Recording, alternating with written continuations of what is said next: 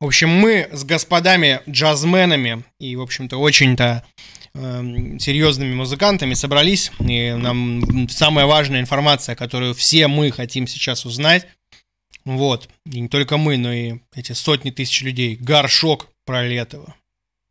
Надеюсь, будет потом Летов про горшка. Нам всегда вот именно нравилась гражданская оборона, вот даже с детства тоже любили слушать ее. Но единственное то, что мы не понимаем, почему же они так играют, а, ну, то есть, ну, записаться не могут так, а с другой стороны в этом тоже что-то было. Это, опять же, в то время просто, ну, не могли еще играть так по Да, про, про Король и Шут тоже многие так думают, что ж вы это, блин. Как, вот, допустим, сейчас уже можно.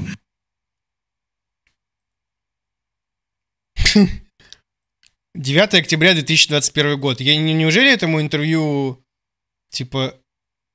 Ну, короче, народ, я не знаю, это к вопросу того, э, чем можно до сих пор удивить э, 200 тысяч зрителей. То есть просто короткое высказывание откуда-то из какого-то интервью нашли горшка про Летова. Насчет записи гражданской обороны я бы еще даже поспорил. То есть есть как бы качество записи, а есть итоговый саунд. Э, то есть то, как по итогу звучит вообще и как работает э, запись. И, честно говоря, у гражданской обороны нередко лучше, чем у короля и шута работает.